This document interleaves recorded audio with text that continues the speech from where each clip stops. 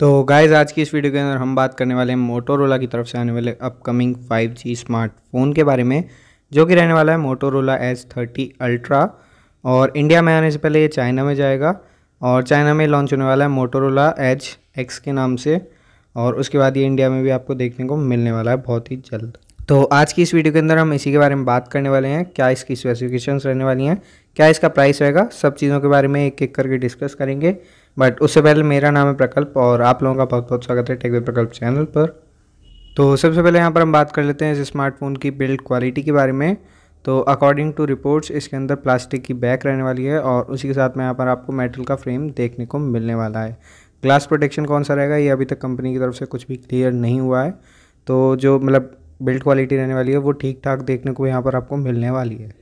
तो नेक्स्ट बात करते हैं यहाँ पर इसकी डिस्प्ले क्वालिटी की। तो यहाँ पर आपको 6.67 इंच की डिस्प्ले देखने को मिलने वाली है और ओलेट पैनल इसके अंदर होने वाला है टेन बेड्स का। और उसी के साथ में आपको यहाँ पर 144 फोर्टी का रिफ्रेश रेट देखने को मिलने वाला है। तो डिस्प्ले क्वालिटी काफ़ी ज़्यादा अच्छी रहने वाली है इसके अंदर एंड काफ़ी ज़्यादा अच्छा इसमें काम किया है मोटोरोला ने इस बार। नेक्स्ट यहाँ पर हम बात करते हैं इसके कैमरास की। तो इसके अंदर रहने वाला है 50 प्लस 50 प्लस 2 मेगापिक्सल के ट्रिपल रेयर कैमरा और उसी के साथ में आपको यहाँ पर 60 मेगापिक्सल का सेल्फी कैमरा देखने को मिलने वाला है। तो जो इसका सेल्फी कैमरा है, वो बहुत ही ज़्यादा तगड़ा रहने वाला है और रेयर कैमरा भी काफ़ी ज़्यादा अच्छा रहने वाला है। तो कैमरा ओवरऑल अगर हम बात करें तो काफ़ी ज़्यादा बढ़िया कैमरा सेटअप इसके अंदर देखने को मिलने वाला है आपको।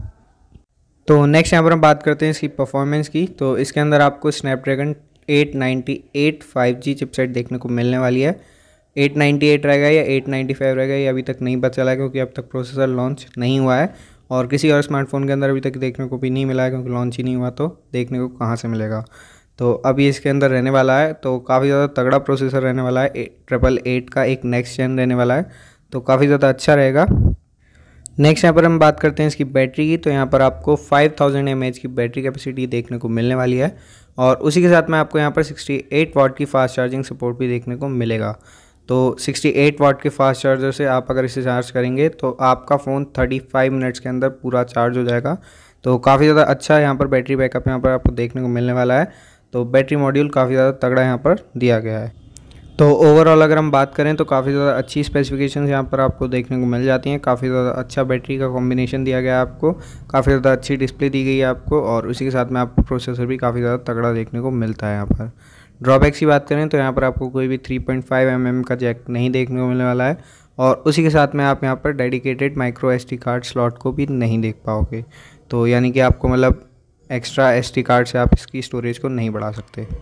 बात करें यहाँ पर इसके प्राइस की तो यहाँ पर प्राइस से रिलेटेड कुछ भी अभी इन्फॉर्मेशन नहीं आई है बट अगर मतलब हिस्ट्री की बात करें मोटोरोला की, जो अब तक वो लॉन्च करते आया है फ़ोन को तो आपको मॉडरेट सा प्राइस देखने को मिलेगा। ये भी नहीं कह सकते आपके बहुत ज़्यादा ओवर प्राइस रहने वाला है, या फिर आप ये भी नहीं कह सकते कि बहुत ज़्यादा एग्रेसिव प्राइस पॉइंट पर आएगा तो मॉडरेट सा आपको यहाँ पर प्राइस पॉइंट देखने को मिलने वाला है।